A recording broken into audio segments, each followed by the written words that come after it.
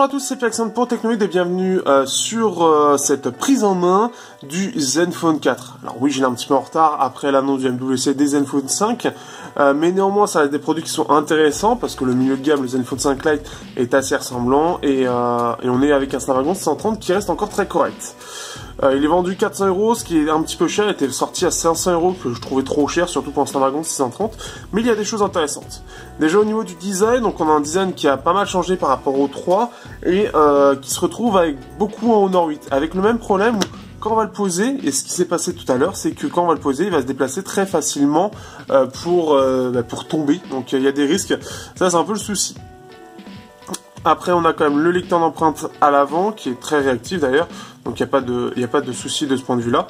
Euh, ce qu'il y a comme particularité, c'est surtout que le double capteur, contrairement au Nord 8, euh, c'est un double capteur qui, euh, qui est, comment dire, donc il y en a un classique et il y en a un qui est prévu donc pour le grand angle. Donc ce qui fait qu'alors vous avez celui normal qui est en 1.8 et l'autre qui est en 2.2 en termes d'ouverture. Donc justement, j'ai fait des photos juste avant, de nuit c'est vraiment pas mal. On a des photos qui sont euh, vraiment lumineuses avec pas mal de détails. Donc ça, c'est quand même assez appréciable. On voit la qualité, on peut voir aussi le ciel. Alors le ciel, il y a pas mal de bruit pour le coup. Un petit lissage aurait été peut-être un peu plus sympa, ce qu'a fait Samsung pour avoir des photos un peu moins euh, fantaisistes. Parce que ça fait beaucoup penser au S7 et euh, un peu plus sympa. Avec le grand angle, forcément, bon, ça se ramasse un peu plus. On est surtout sur du 8 mégapixels. Là, je trouve que ça reste encore pas trop mal. Mais on est sur quelque chose de très sympa. Là, en faible luminosité, on a une photo qui est vraiment lumineuse, avec beaucoup de détails, donc ce qui fait que c'est vraiment, vraiment agréable. On peut voir mon chat est très heureux que je le prenne en photo. Euh, en plus de ça, c'est lumineux, c'est euh, coloré, c'est détaillé.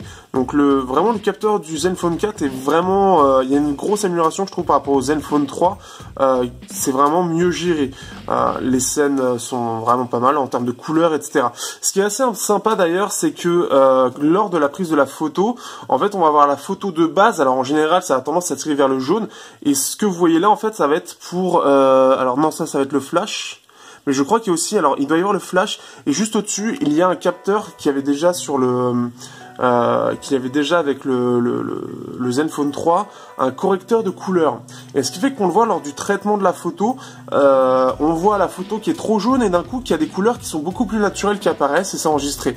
Donc c'est vraiment le processus. Euh, l'autonomie, alors ce qui est bien aussi, c'est que Oreo a été déployé, il est sorti sous 7.0 ou 7.1, et Oreo a été déployé, Oreo euh, permet d'avoir un design beaucoup plus sympa pour Zen UI, euh, donc ça devrait euh, plaire à certains qui n'aimaient pas du tout la surcouche euh, que donnait euh, Zen UI. C'est beaucoup plus Android. Il y a eu quelques petites choses qui ont été changées, mais ça reste vraiment bien euh, par rapport à ça. Par contre, l'autonomie est assez moyenne. Je suis aux alentours des 5 heures. Je faisais mieux avec le Zenfone 3 avec ses 2600 mH. Alors, je sais pas si c'est le 630 qui fait ça ou le Zenfone qui a un petit peu mis plus l'accent sur les performances plutôt que l'autonomie. ça, je ne saurais pas vous dire, mais c'est moins bien globalement que comparativement au Zenfone 3 par rapport la batterie qu'il avait. Sinon l'OS est toujours nickel de ce point de vue là. Euh, je voulais montrer pour continuer dans la photo le grand angle. Le grand angle, alors forcément, qui dit grand angle, à 120 degrés, je crois, dit forcément déformation ici. Euh, après, on a quelque chose qui est correct en termes de qualité, mais on est sur du 8 mégapixels en, ouverture 2.2, ce qui fait que c'est correct en termes de couleur, en termes de scène globale. Par contre, euh, c'est clairement plus pour montrer une scène globale que pour les détails. Parce que les détails, on voit vraiment qu'il manque. Là, en fait, on peut voir, c'est surtout euh, mes nouveaux locaux. je crois qu'ici, donc, là, c'est mes nouveaux bureaux. mais tout, tout, tout, je cherche un petit peu ce qu'il y a. non, c'était pas ça. C'était dans les toutes premières que j'avais fait, je crois. Euh, voilà. C'est-à-dire que voilà en gros ce que ça donne entre une photo de base et la photo avec donc ça. Euh, ce qui est bien c'est que de base on sent quand même qu'il y a un lissage qui est présent notamment autour des écritures où c'est un petit peu plus blanc euh, et là on peut voir que la différence en termes de qualité sur les deux photos sont énormes. Donc après vous le verrez dans le test quand je mettrai l'album photo mais la, la différence est vraiment vraiment énorme. Là pareil on peut le voir donc là l'arc de triomphe et là on peut voir une grande différence. Alors vous voyez au niveau des couleurs la scène globale ça a l'air vraiment pas mal. Par contre si on va zoomer bah forcément 8 mégapixels avec grand angle, on perd énormément de détails. Euh, donc après, à vous de voir là-dessus. Ça qui va être intéressant d'ailleurs avec le Zenfone 5. Euh, on va après j'ai pas grand chose d'autre à dire, on va essayer de faire rapide.